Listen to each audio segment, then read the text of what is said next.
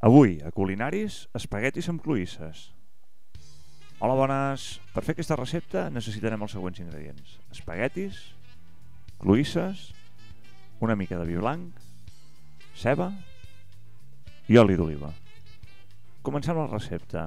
Primer de tot prepararem la ceba. Agafeu una ceba ben grossa, si pot ser de figueres, que són de les meves preferides, i la pelem. Jo ho faig tallant les puntes i partint-la per la meitat. D'aquesta manera la primera capa es retira molt fàcilment.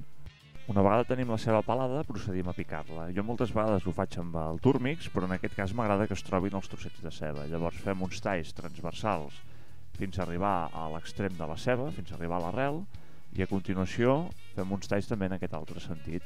D'aquesta manera la ceba quedarà picada en uns quadradets d'una forma molt ràpida. Com veieu és molt fàcil de fer. L'únic que heu de vigilar és no enganxar-vos els dits amb les puntes sempre cap endins. Això és un tema de pràctica Eh, l'important és que ho feu amb la tècnica dient i mica en mica ho aneu fent cada vegada més de pressa. Ja veureu que amb el temps fàcilment acabareu picant la ceba en, en 10 segons. Ara repassem els trossets per si n'hagués quedat algun de més gros i quan ho tenim ho posem a una cassola amb una miqueta d'oli, una miqueta de sal i deixem que s'enrossegi com veieu a la imatge. Quan tenim aquest punt la ceba, posem una miqueta de vi blanc i deixem que redueixi l'alcohol. Poseu una miqueta al foc per ajudar a l'evaporació i quan noteu que ja no fa olor alcohol voldrà dir que ja no ens en queda en el sofregit.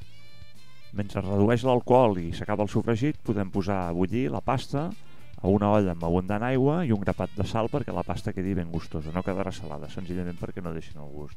Posem ara una miqueta de pebre en el sofregit i a continuació remenem una miqueta i ja hi podem afegir les cloïsses. Les cloïsses, al ser vives, estaran tancades.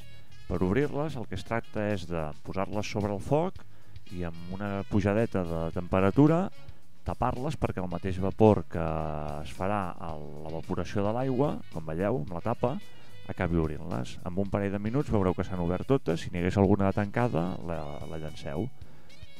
Acabem el plat posant la salsa sobre la pasta que ja tenim escorreguda, donem unes voltes per acabar d'integrar i barrejar tots els sabors i ja ho podem servir.